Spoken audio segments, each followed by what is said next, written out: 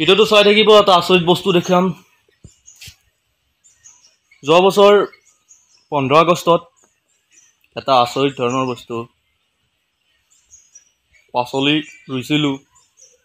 এতিয়া সেইটো ডাঙৰ হৈছে ফল হৈছে। এবাৰ ফল ছিঙিলোঁ আৰু এতিয়া পোন্ধৰ আগষ্টলৈকে আৰু এটা মানে ফল হৈছে।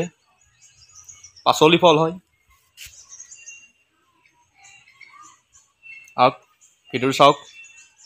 যদি ভিডিঅ'টো ভাল লাগে ছাবস্ক্ৰাইব কৰিব। চেনেলটো আৰু ভিডিঅ'টোক লাইক কৰিব। থেংক ইউ এইটোৱে হৈছে এইটো। পোন্ধৰ আগষ্টত যোৱা বছৰ পোন্ধৰ আগষ্টত ৰুইছিলোঁ। এবাৰ ফল হ'ল।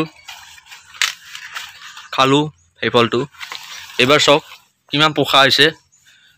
গণি দিওঁ। এডালো কেইদিনমান যোৱাৰ পিছত কলডিল ওলাব।